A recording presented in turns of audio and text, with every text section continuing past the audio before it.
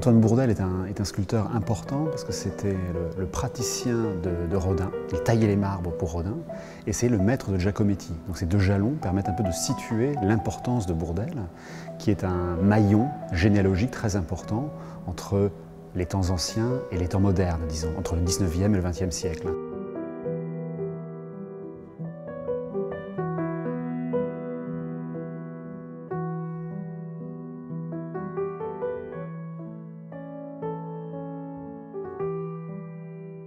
Cette exposition été faite en partenariat avec le musée Ingres de Montauban.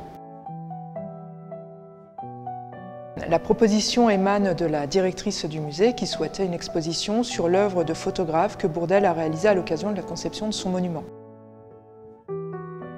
le monument des combattants de Bourdel est certes un monument aux morts, mais ce que j'aime énormément dans cette œuvre, c'est qu'il arrive à transcender le genre funéraire pour faire une œuvre véritablement personnelle, qui est une grande force expressive, et c'est vraiment ce que l'on souhaite montrer dans l'exposition, à la fois par les sculptures, il y a plein de morceaux d'études qui sont extrêmement forts, et par la photographie, parce que Bourdel va faire une œuvre de photographe qui est également très graphique et très novatrice.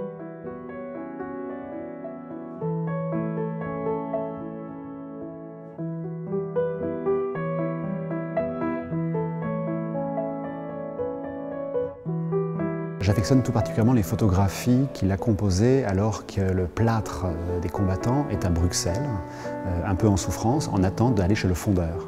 Ce plâtre euh, attend, donc dans la capitale belge, et Bourdel décide de grimper sur le plâtre, de se mettre vraiment au milieu de ce magma de plâtre blanc, informe, assez curieux, et il devient l'une des cinquièmes figures du monument.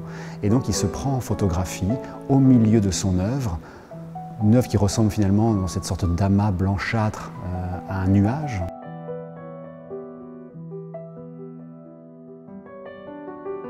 Cette exposition permet de découvrir une facette complètement méconnue de Bourdel, Bourdel photographe, mais aussi de découvrir une facette peu connue de sa sculpture, qui est celle d'une sculpture d'une très grande expressivité, d'une très grande force.